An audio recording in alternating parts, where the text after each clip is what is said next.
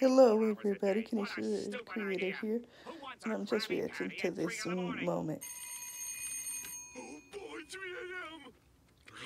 Patrick, you are just such a weird freaking person. It's like a ghost town in here. No kidding, that's the point of the episode. Very funny, SpongeBob.